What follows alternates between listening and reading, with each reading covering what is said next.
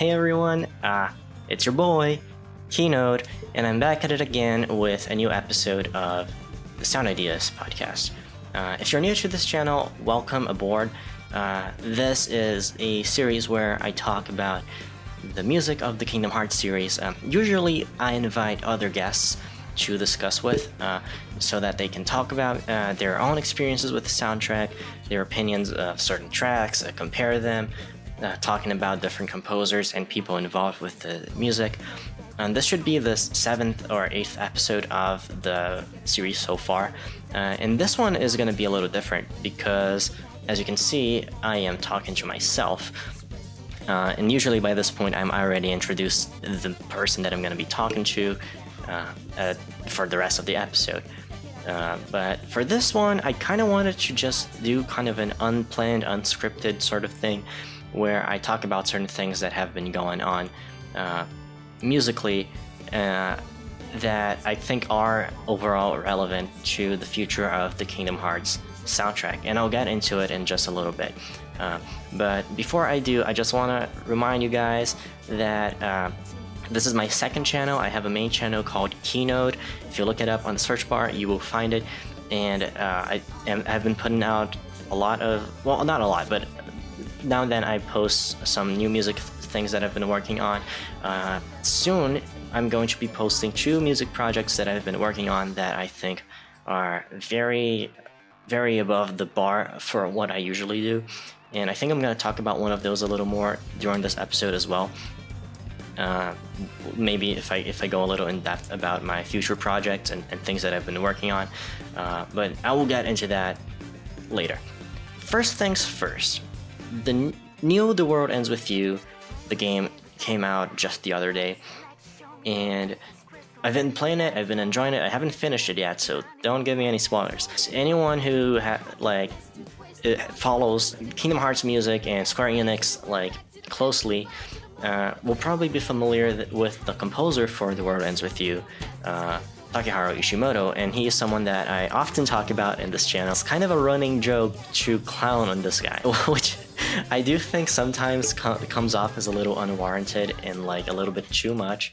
Uh, but I definitely want to talk about why this happens and why I have such strong opinions about Ishimoto. They're not as strong as they might look. I definitely overplay my feelings about this guy for the sake of comedy because I think it's fucking hilarious. Neo The World Ends With You, the game came out, soundtrack is fine. Uh, there are issues with it, and I think I'll probably talk about them uh, in a little bit.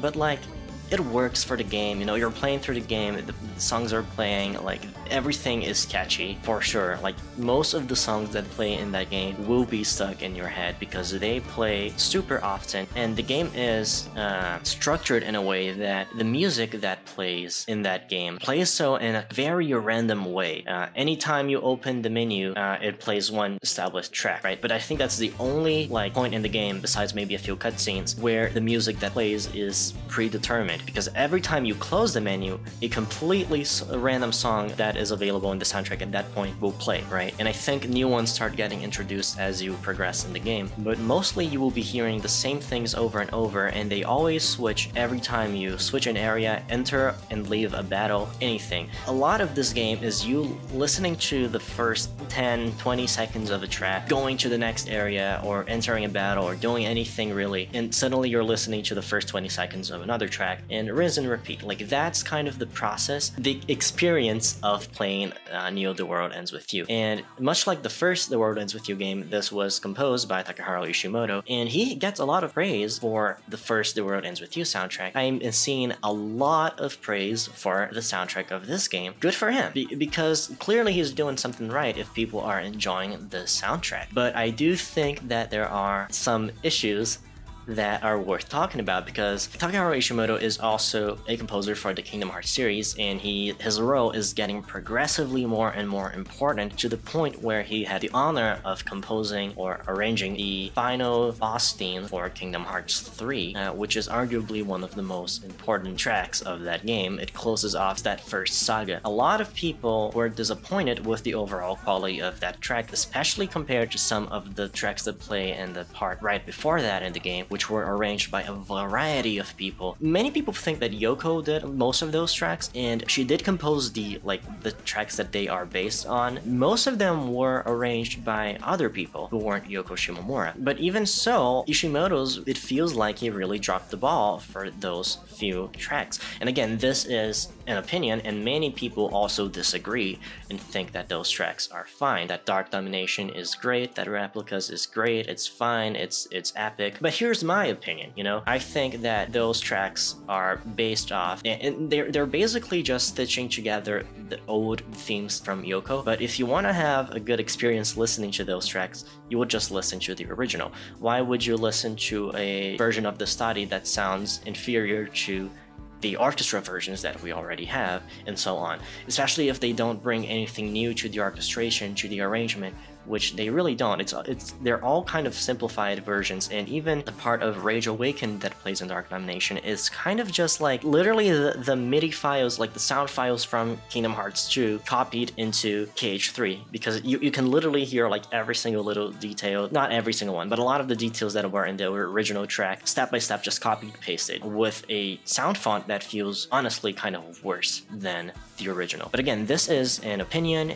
Um, you can disagree, and it's fine. A lot of people I feel like have been getting annoyed with me on Twitter for dunking on Ishimoto so much, which I find is weird because I don't really do it that often, especially not on Twitter. I, de I definitely do it a lot with my friends in private, uh, but on Twitter, I made maybe a couple of posts ever since the world, the new The World Ends With You game came out. Just it, not even like super dunking on him, just kind of like questioning some stuff that happened. Let's get into what happened. So me and my friends were listening to the entire the word the entire soundtrack of this new game, right, uh, on YouTube, and just like kind of evaluating it a lot. And we were pretty surprised that uh, many of the tracks, or not many, but like three or four maybe, like sound really good. Like they're they're completely enjoyable to the end. Uh, Hustle Bustle is one I can think of. The one uh, when you fight the pig noise is great. I think that one is amazing and it's also super long. Here's the thing. Uh, as great as those tracks are, I feel like, and, and this is something that I can't really prove, but that my friends definitely agree with me, it doesn't sound like Ishimoto was the person who did a lot of those. Or at the very least, it sounds like they were heavily sampled from other tracks that are like from exterior sources. Yeah. So one of the things that happened on Twitter is that when we were looking at the World Ends With You soundtrack, one of my friends scrolled down into the description and he noticed that uh, YouTube's song detecting algorithm for copyright uh, video of the The World Ends With You soundtrack for something else. And we were like, huh, that's weird. Like, why would YouTube claim as if like there were a song that didn't belong to that soundtrack in that video. So we checked it out and turns out that one of the songs from the game uh, that I can't remember what it's called right now. Uh, no, uh, it's Act the Fool. It's called Act the Fool from Neo The World Ends With You. Is pretty much a one-to-one just copy of a song from a like an audio library of free licensed, no, not not free. You you, you do have to buy the license for the song to use it, but it's it's licensed music, right?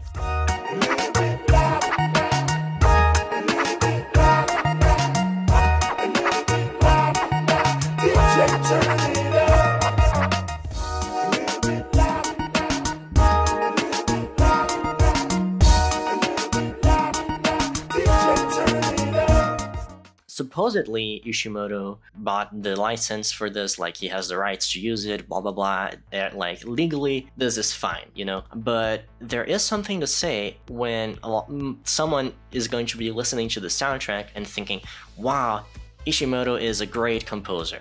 And there's a huge chance that what they're listening to wasn't composed by Ishimoto, it was sampled by him. So for this song in particular, um, it is it has two parts of it. It has an A and a B section, from what I remember. And the A section is literally just this uh, sampled thing from Wild West Music. It seems to be called. Uh, can't find I, I, can't find anything really about these guys on the internet, uh, but it is something that exists and that Ishimoto borrowed from. Uh, and the thing is, usually, well, and I'm not a master on sampling or sampled music, but from what I understand usually when something is sampled, uh, it's in a very transformative way. It's very short elements of a track that are borrowed, you know, and transformed. There, there are changes, very significant changes to this track that make it their own. Uh, it's just kind of understood to be done that way. But for this one, it is like the, the the entire A part of that song is just this other song, slightly sped up, which rubs me in a weird way because Ishimoto clearly knows how to do things that aren't this lazy, but it's really lazy. Like like th that's the only way I can put it. Like that's lazy. He could have done a way better job at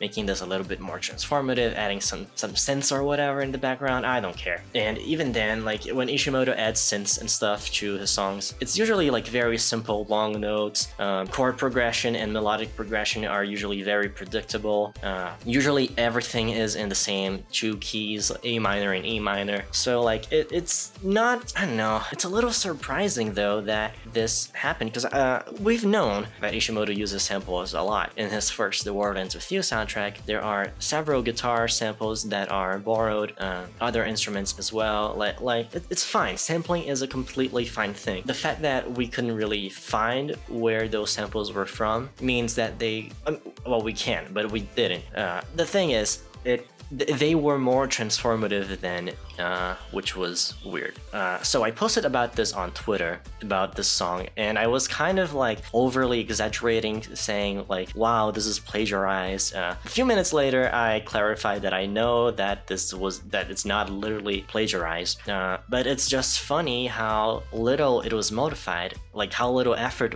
went into like not hiding, but you know, covering. Well, you don't have to hide that you're sampling something, but I don't know.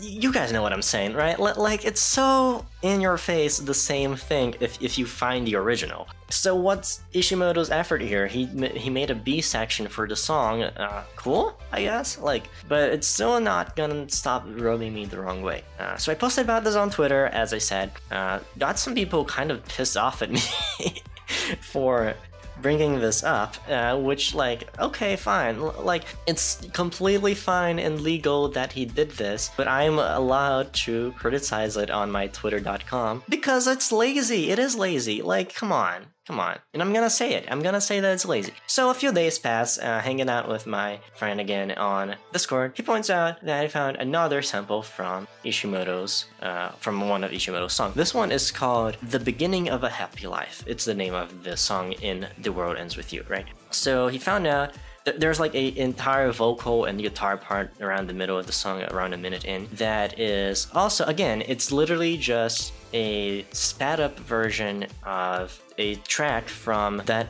the swimming anime. You know the swimming anime free with an exclamation point? Yeah. The song from that soundtrack is called aggressive roof and it's this guy going like gotta bring it on bring it on. Bring it on bring it on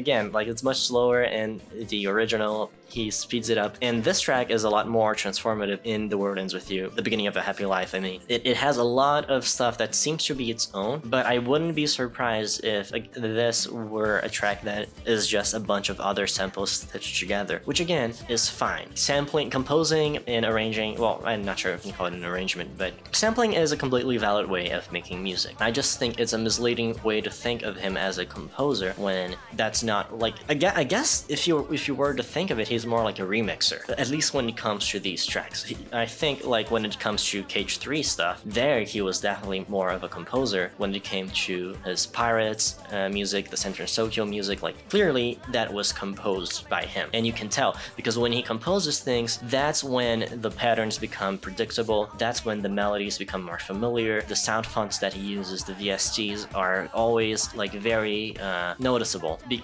that's kind of like a trademark of his style. Like you will recognize if something was composed by Ishimoto if you pay attention to it, because there are so many patterns that they follow, and that it's kind of impossible not to notice it, right? Uh, so I guess where I'm going with this is that like I don't think Ishimoto is an awful composer. I mean, who am I kidding? Yeah, he is.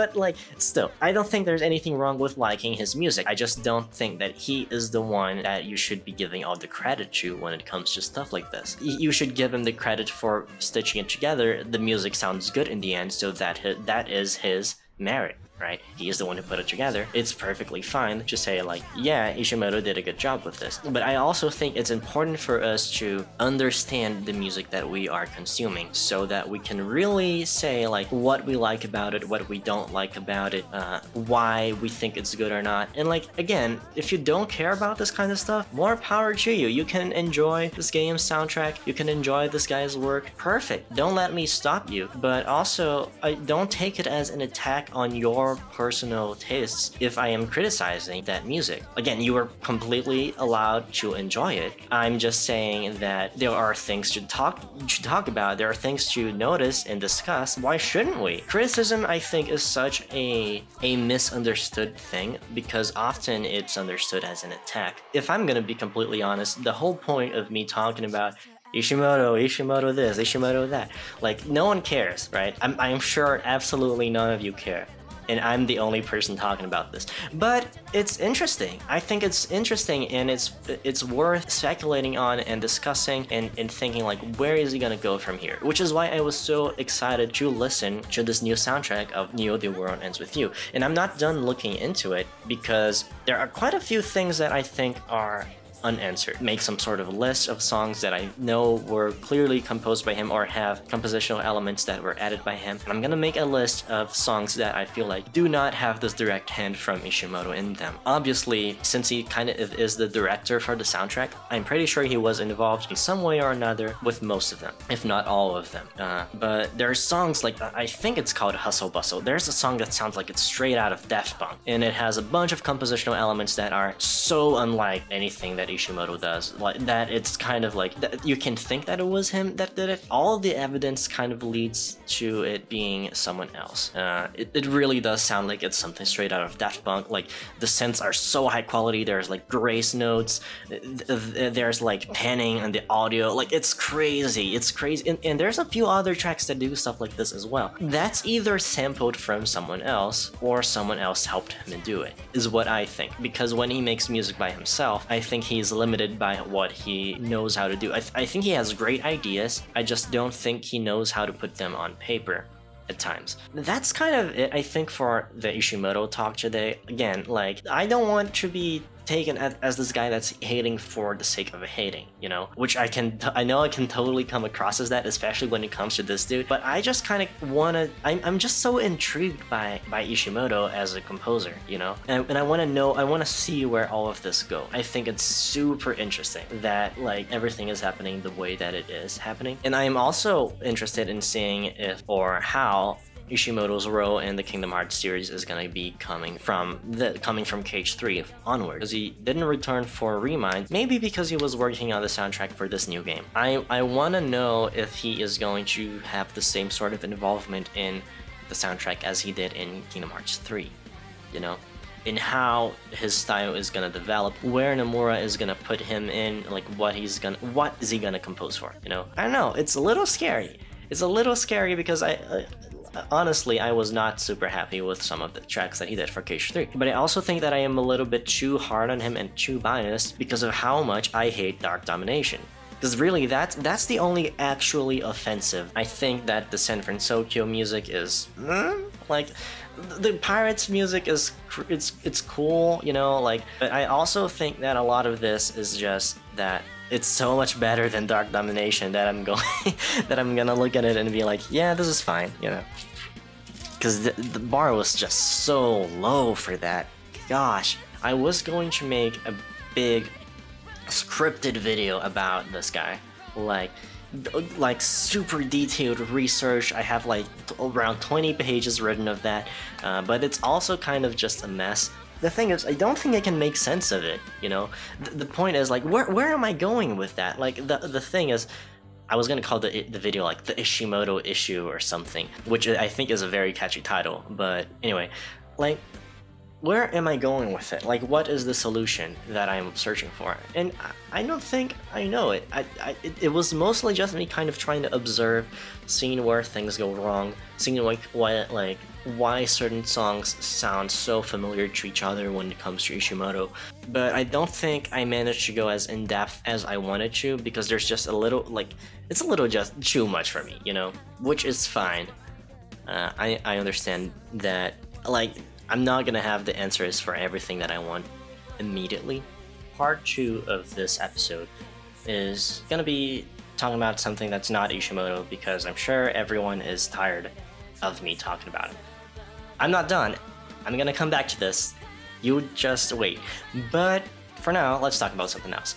So one of the projects that I am working on, and uh, I've posted like a little preview of it on my Twitter page on uh, Glass Ostinato, and it's a recreation of one of the tracks from the Kingdom Hearts World Tour concert that happened all around the world. Uh, and I think it, I think it was 2018 and I think 2017 as well.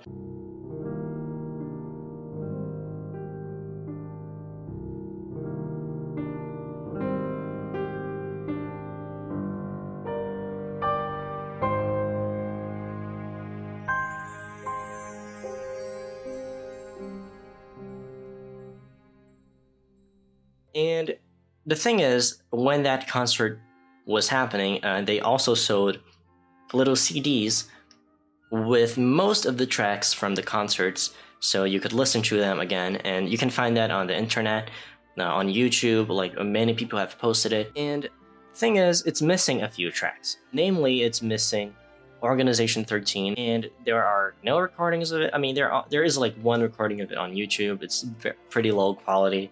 But there's also another track that is Twilight Town and At Dusk I Will Think of You. And the Lazy Afternoons arrangement uh, is actually very, very similar to the one from the First Breath concert. Uh, if you don't know, First Breath was a concert that happened uh, maybe one or two years before the World Tour concert. It had like a gimmick to it that it only focused on brass and um, woodwind instruments. So yeah, there were a few tracks that had like harp, piano, uh, but no strings. So yeah, that those that, that's a song that is also not in the CD. So like I found uh, recordings of both of these, and I started thinking about a project of restoring lost Kingdom Hearts music media. So what I'm doing right now is uh, I transcribed the entire Organization 13 arrangement, and I am I, I, am currently producing it. I got a bunch of musicians to play the instruments for me.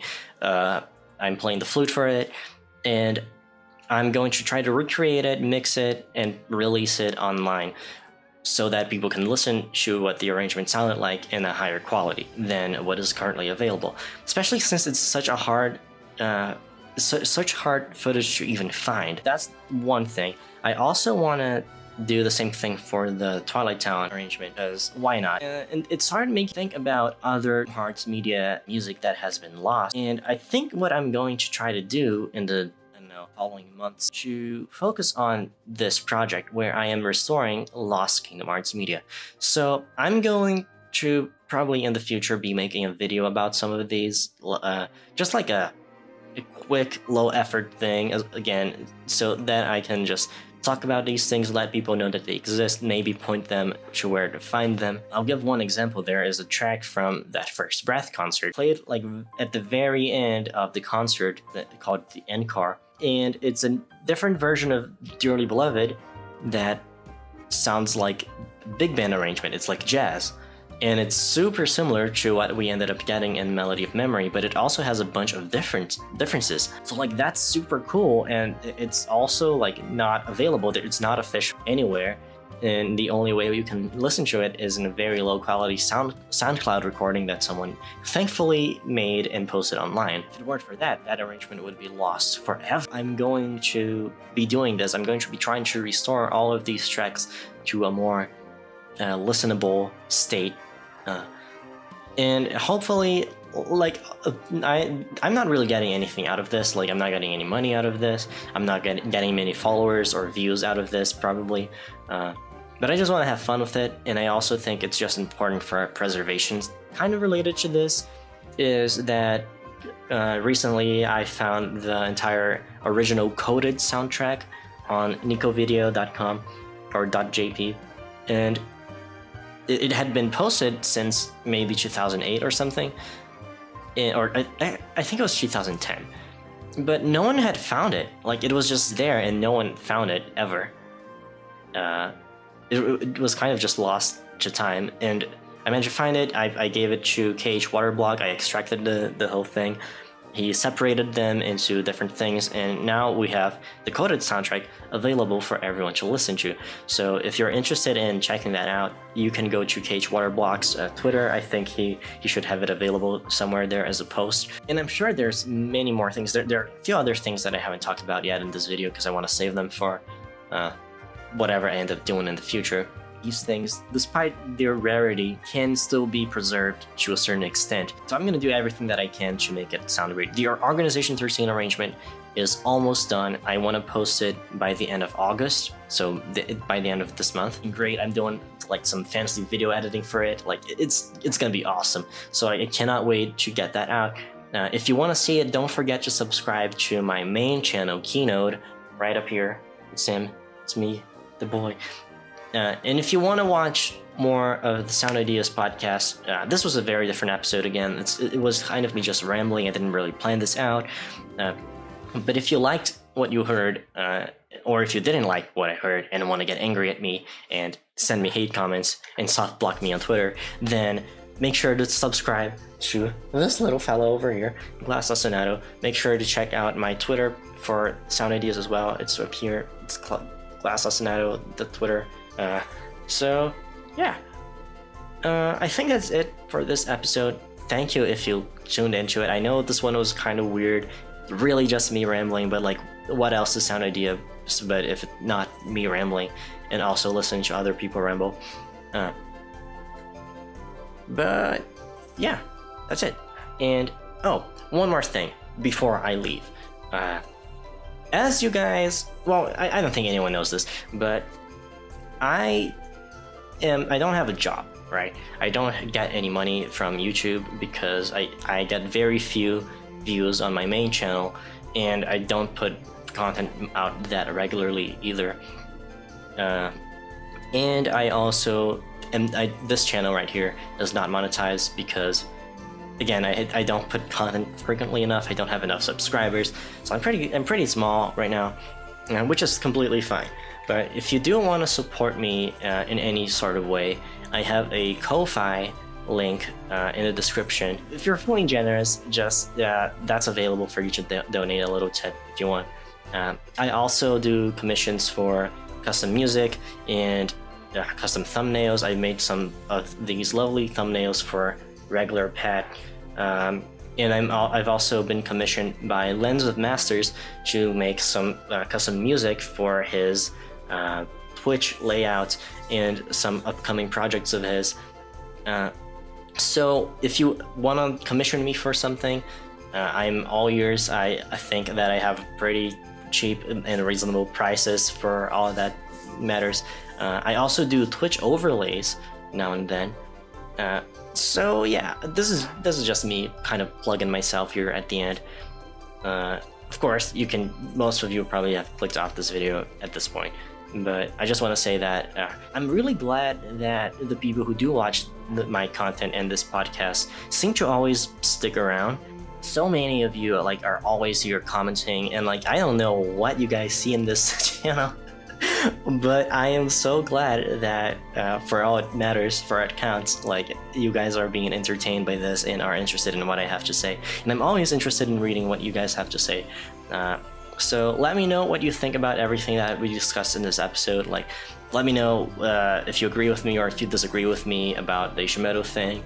Um, let me know if you're interested in this uh, music preservation project that I'm working on. And if there's anything you want to listen to me talk about, in particular about the soundtrack of the series, feel free to also suggest that. Thank you again for hanging out, and I will see you all in the next one. Peace.